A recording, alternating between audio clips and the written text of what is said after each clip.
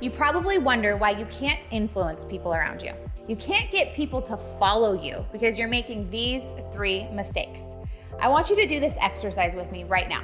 Get a piece of paper and write down on one side a 10 and on the opposite side put a 1. I want you to think of yourself as a leader. The reason I'm having you do this is because I want you to understand that people with influence, people attracting the life that they want, they are leaders. With that in mind, I want you to rate yourself. 10 is like very superior, very disciplined. People are asking you for help constantly. And one is a major lack of focus and you're a freaking procrastinator. Look, I want you to be honest with yourself. You can't grow if you're in denial about where you truly are right now.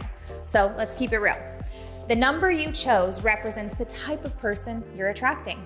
Whoa, right? It's okay, no matter what number you chose, as long as you're honest with yourself. Don't tell me you're 10 and no one wants to follow your lead, you know? The second thing that is happening is what do you have to offer?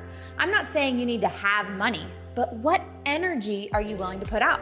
Are you willing to share tangible value to a person?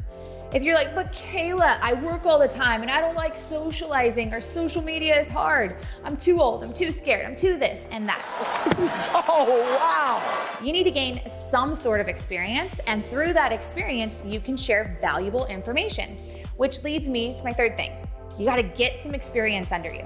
Too many people walk around overlooked because they're not willing to do things that will dramatically change their life. They don't challenge themselves, they don't take risks. Do you know, as a nurse, I was gonna make some good money, but I decided to quit. I had such a high sense of belief that I was gonna do something big. I took action and I allowed my faith to guide me through this journey.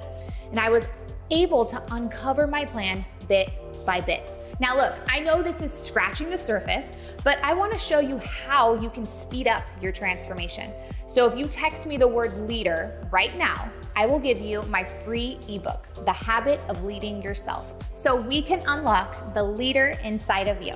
I want you to comment down below on what you think you need help with.